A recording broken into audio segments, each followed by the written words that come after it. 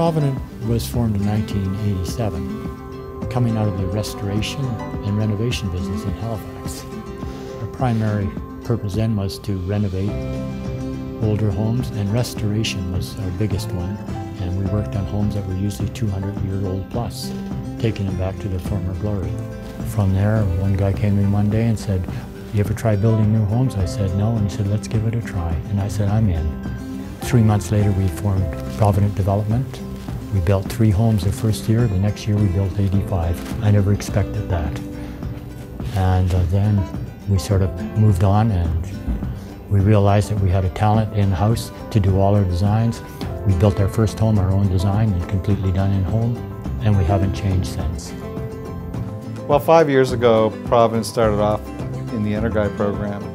So as house builders were moving towards improved energy efficiencies, the EnerGuide program came about and we participated in EnerGuide. Net zero is a natural evolution for us, a progression from EnerGuide as we continually improve the efficiency and cost effectiveness of energy efficient homes. Net zero energy to me is basically a house that produces as much energy as it consumes. The challenge we have is that we were given, can we produce this in a suburban setting in a production manner, at cost effectively?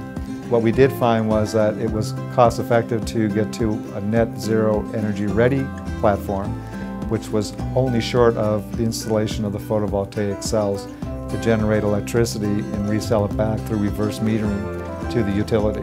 We've now created what we think is a cost-effective net zero energy ready home that we could eventually adopt very near in the future as our standard. The future of housing in Nova Scotia is really important. It's about energy efficiency. It's about creating homes where people live in and where they raise their families in. Homes that really take a look at what the families need. And energy efficiency tops that list. Well, it's the first time that a project like this has been done in Atlantic Canada, so we're very proud that uh, Provident could be the leader in it. And it means that our builders are going to learn from it and that they'll be able to incorporate it in what they're doing as well. So it's taking energy efficiency to the next level. It'll inspire our manufacturers to bring us better and better products because that's where the true cost savings are for the customers.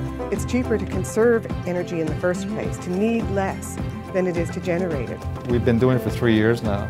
So I think the surprise over the three years has been that the technology costs are certainly coming down. And I think as this type of initiative takes hold and people grab onto it and it becomes, you know, you can produce these technologies in mass, that makes the cost come down. And what will also happen going forward is utility rates will increase. So with rates increasing, technology costs decreasing, all of this will eventually create a recipe for cost-effective net zero going forward. Net zero is the pinnacle in energy efficiency. It's the perfect balance between environmental stewardship and enhanced occupant comfort. We all want to be uh, green communities. We all want to have accessible, affordable homes for all of our citizens. And it's really cool when you have houses like this, which have the potential to produce as much energy as they consume. I think that's good for everybody. Beautiful homes, uh, energy efficient, uh, good for the environment, good for health, good for communities. It's a win-win. I think it's good for, for everybody. Atlantic Canada is a wonderfully affordable place to live and raise a family, and home ownership is an important part of our culture. As we introduce more and more innovative ways to reduce our energy costs, we decrease and further decrease the cost of running our homes. We can open up home ownership to a whole new group of people. I hope by 2030 we meet our goal and everyone in Canada is living in a new net zero energy home. We'd like to continue with the net zero, but getting beyond the ready point to a, to a full net zero project. We're hoping over the next few years, all of our homes that we built will be net zero ready. And we're hoping from that the cost will be low enough that we can actually go full net zero.